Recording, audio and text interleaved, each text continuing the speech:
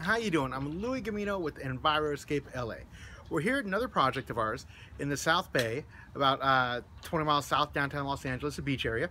Uh, we're doing another front yard, and if you take a look at it right now, it is just complete barren dirt. We do have some of the hardscape that has gone in. Uh, left a couple remaining plants, uh, some pygmy palms here. The boys are working on installing some border on that side. But the bulk of the area, what was here prior, was a water guzzling lawn. So the homeowner wanting to do what's right by the environment, thinking of the future, this drought that uh, is gripping Southern California. They love the green lush look, but they don't want to use the lawn, that water guzzling lawn. What are we installing? Kurapia. Another project, we're installing Kurapia here in the South Bay. This entire area is going to be Kurapia.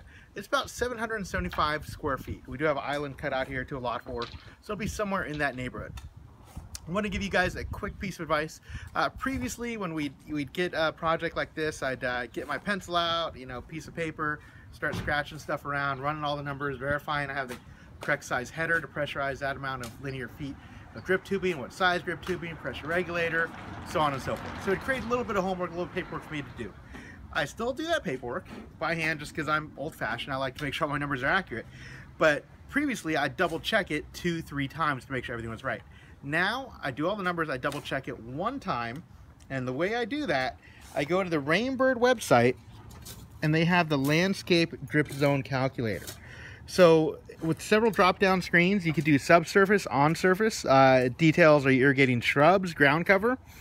You type in the square footage, width times length, and it will actually tell you the amount of drip tubing you're going to use, the amount of air relief valves you're going to need, the amount of cleanouts, the size of your QF header, if it's three quarter inch, one inch, half inch, are you using the uh, drip tubing as a header or using something bigger?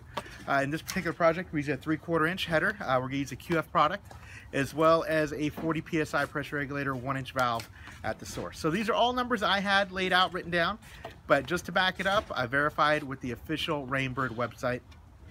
Really simplifies things. It's always good to double check and get a second source of uh, information, and we use the Rain Bird website for that as well as we're always installing the Rain Bird product.